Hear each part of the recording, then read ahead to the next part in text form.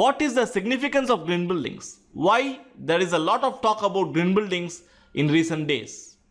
Buildings directly contribute to all major environmental issues like climate change, depletion of resources, ozone depletion, land pollution, water pollution, and air pollution.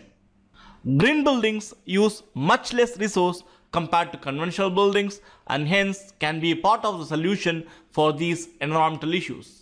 Can you guess which of the following have the highest contribution to greenhouse gas emissions? Industries, transportation, or buildings? I have asked this question in many classes. The most frequent answer I used to get is industries or transportation. Let us see what is the reality. Buildings are the major contributors of greenhouse gas emissions.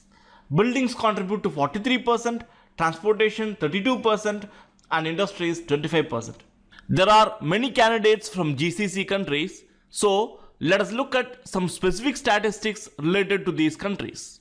The per capita CO2 emission is higher in GCC countries compared to developed countries like USA or UK or compared to developing and industrialized countries like India and Philippines. Per capita CO2 emission is the CO2 emission divided by mid-year population of the country. What can be the reasons for higher per capita CO2 emission in GCC countries? In my opinion, the reasons can be number one, climate. GCC countries have extremely hot and humid climatic condition which requires cooling and dehumidification. Space cooling is energy intensive as compared to space heating.